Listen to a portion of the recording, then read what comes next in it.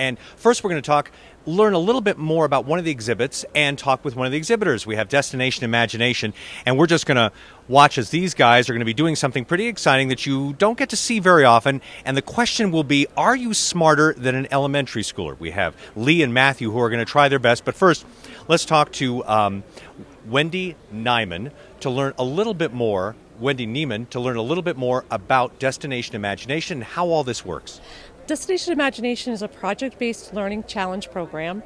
Um, we develop seven challenges annually for students kindergarten through university, and we challenge students to learn more, think outside the box, take their STEM, science, technology, engineering, and math skills, incorporate them with arts and 21st century learning skills, project management, risk analysis, incorporate them in a fun, engaging manner, and develop challenges to solutions in science, engineering, fine arts, improv, service learning. We um, we impact right now about 200,000 students a year.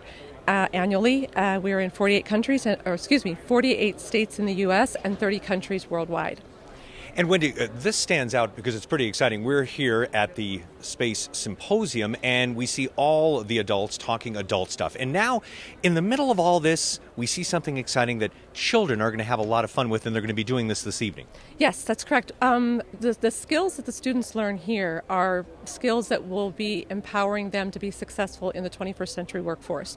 So, as we're here at Space Symposium surrounded by engineers and all of the aerospace um, companies here, their future lies in the success of the skills that we can foster in our students. So that's what our program does. Our program in, in, encourages students in uh, uh, uh, to foster their curiosity in the world around them and how they can develop through utilizing those skills um, unique and novel innovative solutions. Oh, okay, so let's let's talk about those unique, novel, and exciting solutions. Now, I, I, I, want you to explain this. And AJ, go ahead and show Lee and Matthew, who are adults, and we're going to see if they are smarter. And now, hold on one second, Lee and Matthew. If they're smarter than an elementary schooler. So, Wendy, explain to us what exactly is going on here. Okay, we have challenged. Um, our, our uh, participants here to develop a device using five items ranging from straws, pencils, aluminum foil, recycled uh, PVC pipe,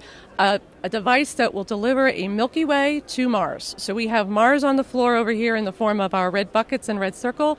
They have to de- build a device that will deliver their Milky Way candy from their device to Mars. So that's uh, th- that will incorporate some engineering skills, some creativity, again thinking outside the box. Um, patience in general. Absolutely, and timing and technique. So, Lee and Matthew, before you go, because I want to I want to talk with you about this for a second. Let me just run over this way for just a moment. So, so guys, all right, all right, okay. So, tell me uh, what you're feeling at this moment because I mean this question is burning in a lot of people. Well, it really is, Eric. And you know, so we we took two different approaches here. One being the mortar tube approach, which completely failed and didn't work at all. And then we've we've actually gone back to a very medieval device. If you can come in close on this, um, so we've done some tensile testing on this, and it looks it looks like it's going to hold up. So now it's really just a matter of accuracy. So we'll see. We'll see. I, we're excited, Eric. Now it's execution. It's execution it's time. execution time. Yeah. That's right. Now we've given you a, a little bit of leeway to be able to put this together and practice a little bit, Right. but th- this is Right. not for the faint of heart. No, no, no. This is. I mean, there's a lot of pressure. This is the big leagues here. Yeah, This is- yeah. This is. Yeah. Yeah. NBA championship, NCAA tournament, and this. They're all. They're all. This is like the Super Bowl of candy launching. This is- Yeah.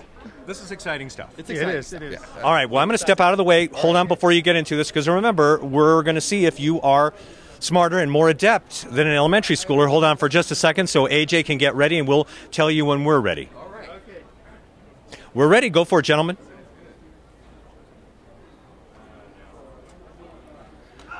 All right. So far, that first test to Mars, if that is Mars, didn't fare too well. Hold on a second, AJ. We've got, we have trial number two.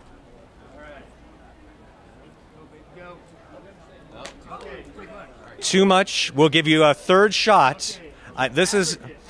Here we go. Hold on one second. Let's get squared away. That one was mission failed, but hold on a second. Hold on, that didn't count.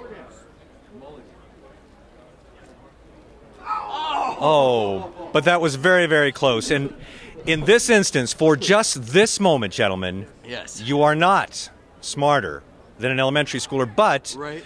You are very good sports, and we appreciate what you've done. Well, we appreciate it too. Thank you very much. Thank you, Eric. Thank you, ver- thank you both very much. And those were exhibitors who were nice enough to be able to talk with us and be able to try this. And Wendy, come on back.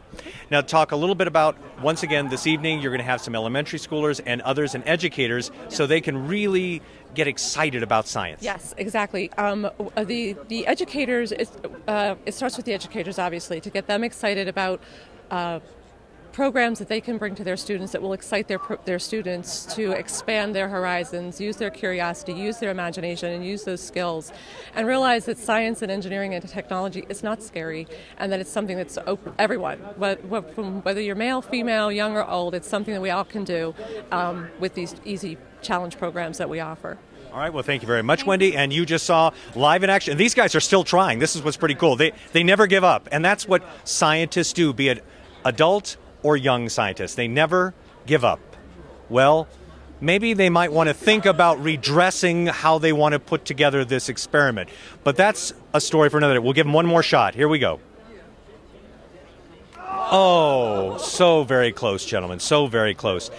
And my next mission is going to be I'm going to try to find Bill Nye, the science guy. I've already talked with his people, and they're going to talk with my people, and we're going to try to get together and be able to have some comments from him. So keep it right here on Gazette.com. Reporting live from the Space Symposium, I'm Eric Singer, Gazette.com.